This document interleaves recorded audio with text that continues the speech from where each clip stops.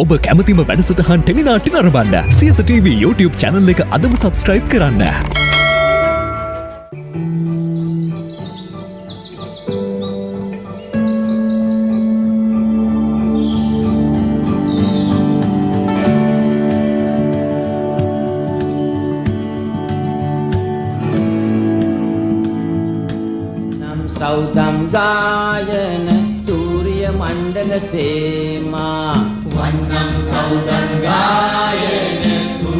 මණ්ඩල සේමා ගයමුව යාළුව මාහා ගයමුව යාළුව මාහා ඉහළු ගමින්කෝ හයි.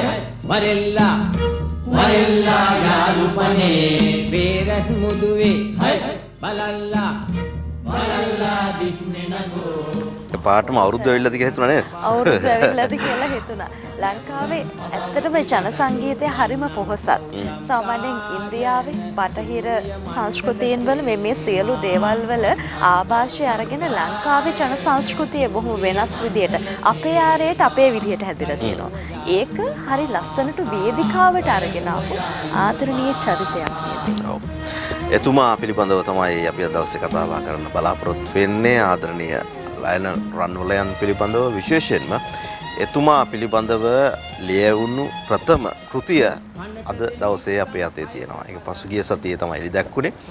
හෙළ ගීයේ රන් සලකුණ ලයන රන්වල ගීත නිර්මාණ අධ්‍යයන කියන මේ කෘතිය අ, රචනා කරන්නේ සංවිධාති ප්‍රදීප් මුතුකුඩාරච්චි. ඒ නිසා අපි ඔහුට ආරාධනා කරා දවස් අපිත් එක්ක මේ කතා බහට එකතු වෙන්න කියලා. ආයිබෝන් ප්‍රදීප්. අයිබා සුබදසනක්. මේ ඉතාමත් සුවිශේෂීම කාරණාවක් මේක රන් සලකුණක් ඔබත් කරලා තියෙන ඇත්තටම ඒක නිසා රණින් කරන්න ඕන වැඩ. වැඩක් ඉතින් ඒ කටයුත්ත පිළිබඳව කතා බහ කරනකොට ප්‍රදීප්ට කොහොමද ඇත්තටම මේ සිතුවිල්ල පහළ වෙන්නේ ඔව් දැන් මම රන්වල බලකාය ශිල්පියෙක් හැටියට මේ ගෙන්නෙත් අ, අවුරුදු 20ක් විතර වෙනවා. හ්ම්. ඉතින් අවුරුදු 20ක් විතර එතුමාගේ නිර්මාණ ඇසුරේ සිටීම මේ වාරගෙන රටේ හැමතැනම ලෝකයේ විවිධ රටවල් වල ගිහිපු කෙනෙක් විදියට ඒ ලැබපු සියුම් අවබෝධය බලපෑවා මේ වගේ වැඩකට අත ගහන්න. ඊළඟට මම පාසල් මට්ටමින් සහ විශ්වවිද්‍යාල මට්ටමින් මේ විෂය උගන්වන ගුරුවරයෙක් හැටියට මට දැනෙච්ච අඩුවක් තමයි මේ ලිඛිත මූලාශ්‍රය හොයනකොට එතුමාගේ නිර්මාණ ගැන හොයන්න එහෙම එකක් නැහැ. ඉතින් මට හිතුණා ඒක කණ්ඩායමේ ජ්‍යෙෂ්ඨ සමාජිකයෙක් විදියට සහ මේ විෂය උගන්වන ගුරුවරයෙක් හැටියට ඒක මගේ යුතුයකමක් අ, හැටියට සලකලා තමයි මේ වැඩ කටයුත්තට පෙළඹුණේ. මේ වැඩ කටයුත්තට පෙළඹෙනකොට මේක තරම් ලිහිසි දෙයක් නෙවෙයි. මොකද එතුමන් කියලා කියන්නේ වෙනම යුගයක් බිහි කරපු කෙනෙක්. ඒ නිසා මේ යුගයේ බිහි කරපු ආදරණීය චරිතය ගැන ලියනකොට ඔහුගේ මේ දේවල් එකතු කරගන්නකොට කොහොමද මේ එකතු කිරීමේ මූලාශ්‍ර ටික එකතු වුණේ මෙන්න මේ පොතකට ගත්තේ කොහොමද කියලා ඔව් එතුමාගේ නමින් නිකුත් වෙලා තියෙන්නේ සංයුක්ත තැටි දෙකයි. එකක් 1999 අහසේ ඉන්නවලු කියන එක. ඊළඟට එතුමාගේ වියෝවෙන් පස්සේ 2003 ගමවුලඤ්ඤම් කියන තැටිය.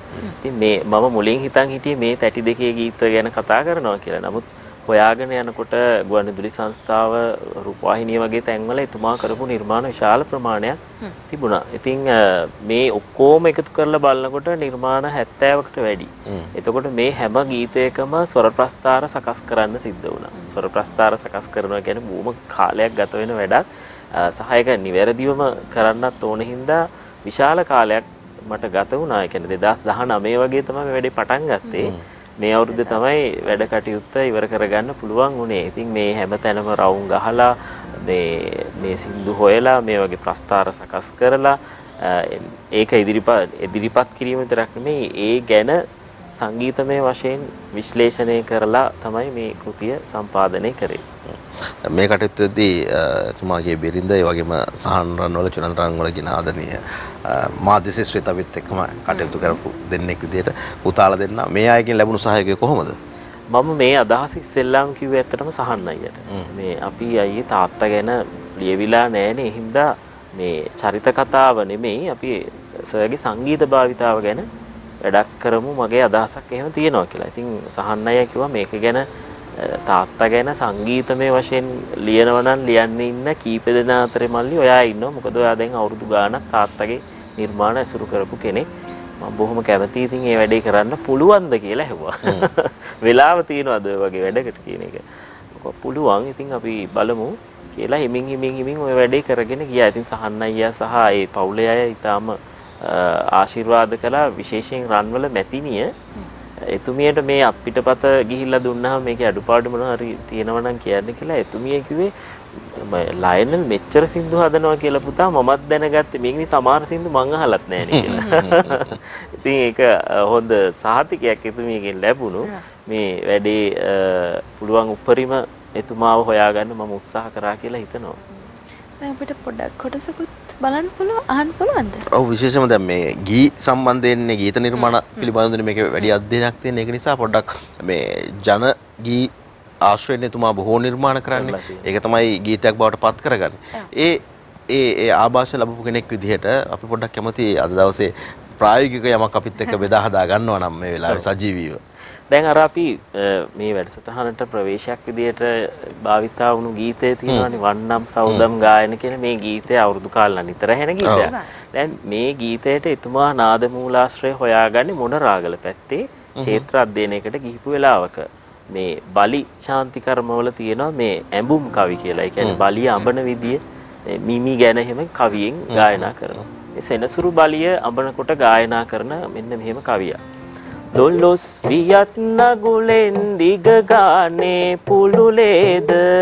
සාවියා සාගුල් ගානේ.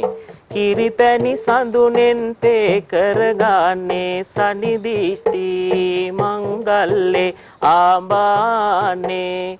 තනතම් දනතානම් දනතම් දනතානම් තනතම් දනතානම් දනතම් දනතානම්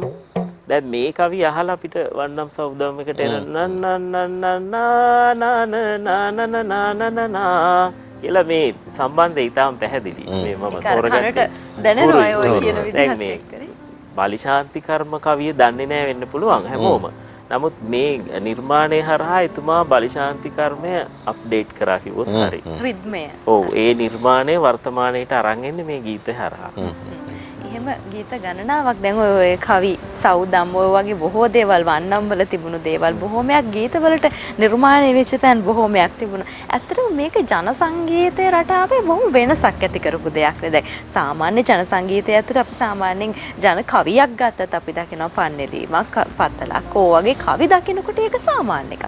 හැබැයි මේක අර සංගීතයේ මුසු වෙලා හිතා ගන්නවත් බැරි විදිහටනේ මොහු නිර්මාණය කළේ. පොඩ ඒ ගැනත් කතා කරමු කවි. ඔව් එතුමගේ නිර්මාණාවලිය පරීක්ෂා කරනකොට මේ මේ කටයුතු මේ දේම තමයි අපිට හම්බ වෙන්නේ. පැරණි ගායනා එතුමා විශේෂයෙන් මේ මකුලොළුව සීදේස් කුලතිලක වගේ වියතුන් එක්ක රට පුරා ගම්වල ඇවිදපු කෙනෙක්. මේ ගැමි ගායකයෝ ගායනේව පටිගත කරන්න ගියාම ඒ හම්බ වෙන ඔළුවට වැටුණු නාදමාලා කොහොම හරි උත්සාහ කරනවා නිර්මාණයක් කරහා සමාජයට දෙන්න. සමහර ලාවට එකම නාදමාලාව ගීත කීපයක යොදාගත්තු අවස්ථා තියෙනවා. මම එහෙම එක අවස්ථාවක් කියන්නම් මේ නිර්මාණාවලිය ඇතුලේ තැන් කීපයකම මේ නාදමාලාව හම්බෙනවා. මේ මේක කිරියම්මා ශාන්තියේදී ගායනා කරන කවියක්. හැබැයි මේ කවිය අහනකොට ඔබට ඊටාම ජනප්‍රිය ගීතයකුත් ඔළුවට එන්න පුළුවන්. තේයක් තාන තානෙන තම් තේයක් තාන තානේ තම් දෙන තාන තානෙන තම් තේයක් තාන තානේ සොමිත් තර්ක උරුලෑවෙක් ඇති කලාට බලල් වේද? මැණි ගලේ පය හැපුණට කණෙක් ඇහිඳලා ගනීද? මතක් වුණාද? මොකක් හරි ගීතයක්. මේ අවුරුදු කාලේ. කාලයේ සිනහව මේ මේ නාදමාලාව මේ අවුරුදු කාලේ ගීතය හැදෙන්නේ 1989 මුල් වතාවට. දැන් ගීතය ගොඩක් වයසයි. නමුත් හැමදාම අලුත් අවුරුද්දට අලුත් වෙන ගීතයක් නෙමේ ගීතය. අවුරුද්ද අරගෙන එන්නේ මොකද? අරගෙන එන්නේ මේ ගීතය. ඉතින් ඔව් මේ කිරියම්මා ශාන්තියේ තිබුණු මේ නාද රටාව එතුමා වර්තමානයට අරන් එන්නේ ওই විදියට.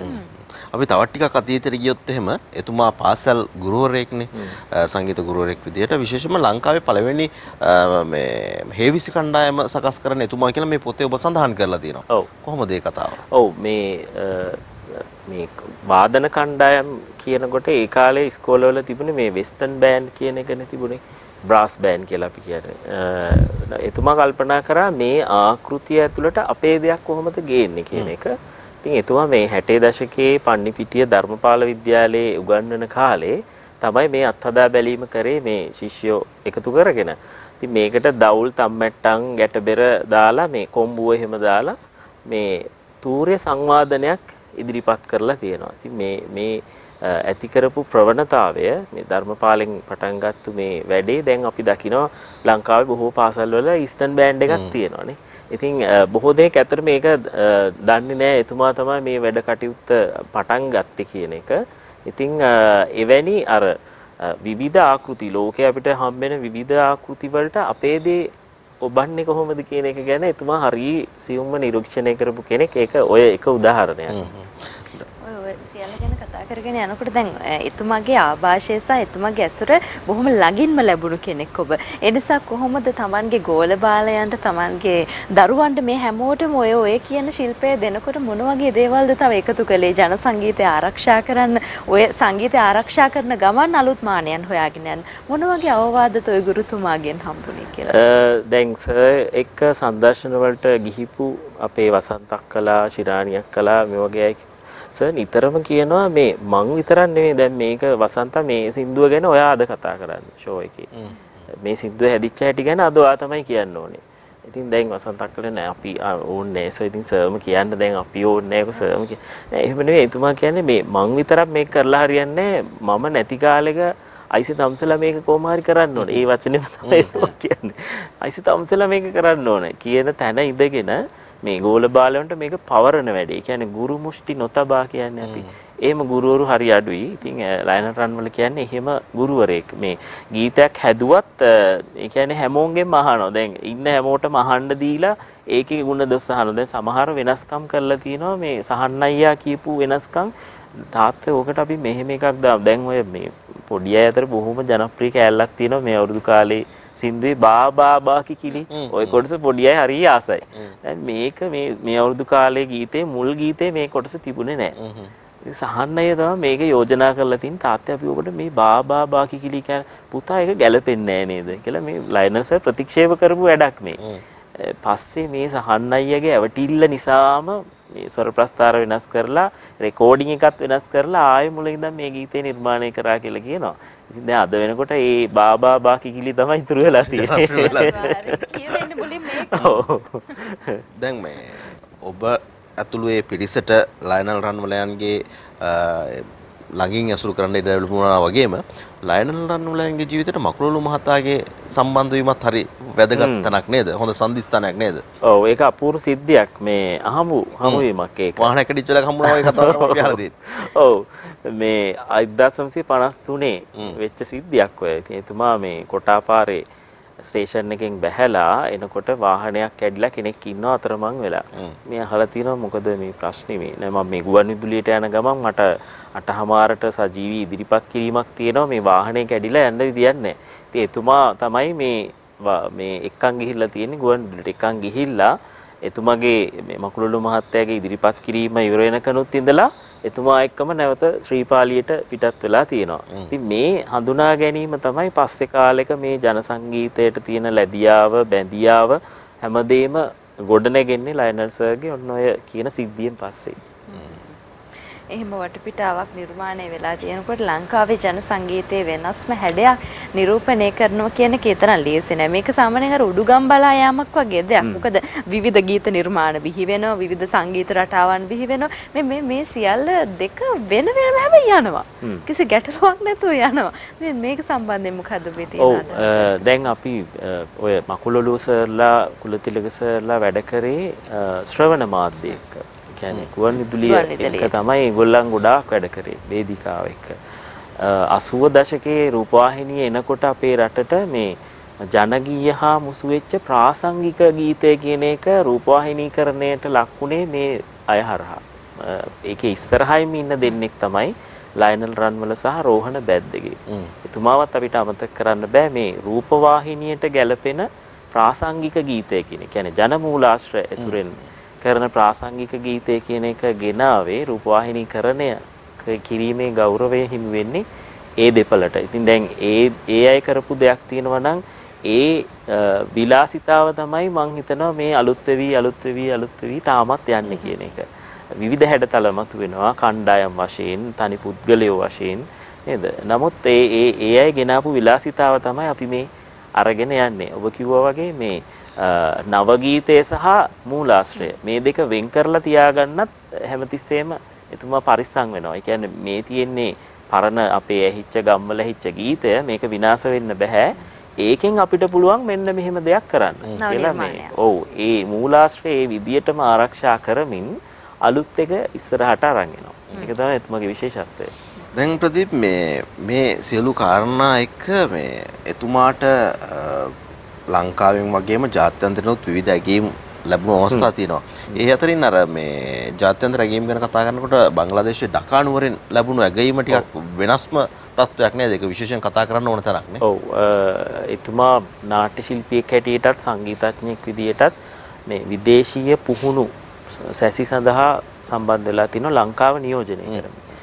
ඩකා නුවර පැවතුණු දකුණු ආසියාතික සංගීත සම්මේලනය පළමු සංගීත සම්මේලනයට එතුමා තමයි ලංකාව නියෝජනය කරමින් සංස්කෘතික කණ්ඩායමක් අරගෙන යන්නේ. එතකොට දකුණු ආසියානු සංගීතඥයෝ එකතු වෙච්ච තැනක අපේ රටේ සංගීතය ලංකාවේ තියෙන මෙන්න මෙහෙම සංගීත කලාවක්ය ඒක මෙහෙම විය යුතුයි කියන එක එතුමා පැහැදිලි කරේ පළවෙනි වතාවට ඔය කියන ඩකානුවර සංගීත සම්මේලනයේදී. ඉතින් ඒ වගේ ගොඩක් අවස්ථා තියෙනවා. දැන් අපිට කතා කරන්න ගොඩක් දේවල් තියෙනවා සහ කෙනෙකුට දැන් මේ හෙළ ගියේ රන් සලකුණ. කෘතිය පරිශීලනය කරන්න පුළුවන්. ඒ සඳහා ඔන්න ඔබට හොඳ ඉඩකඩක් තියෙනවා කියන කාරණාව මතක් කරමින් අපිට තියෙන කාලය අවසන් නිසා මේ කතාබහට නැවතීමේ සලකුණු තියන්න අපි බලාපොරොත්තු වෙනවා. ස්තුතිවන්ත වෙනවා ප්‍රදීප් මුතුකුඩ අද දවසේ අපිත් සමග මේ මුතුකුඩ ආරච්චි මහත්මයා අද දවසේ සහභාගී වෙලා වැදගත්ම කාරණා එකතු කරලා මේ කරපු පරිශ්‍රණ කෘතිය පිළිබඳව කතා බහ කරන්නවට අපි හැමෝටම ආරාධනා කරමු කෘතිය කියවන්න. අනිවාර්යයෙන්. නැවත දවසක හම්බෙමු මේ වගේ. හැමෝම ඔබටත් බොහොම ස්තුතියි මේ අවස්ථාව ලැබුණාට. හොඳයි බොහොම ස්තුතියි. අයිබෝවන්. අයිබෝවන්.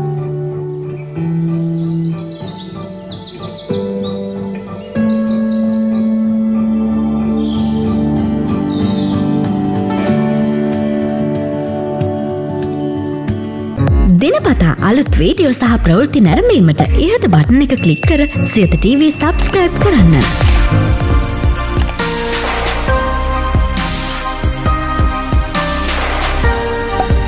අලුත් වීඩියෝ ගැන මුලින්ම දැනගන්න මෙම සීනුව ක්ලික් කරන්න.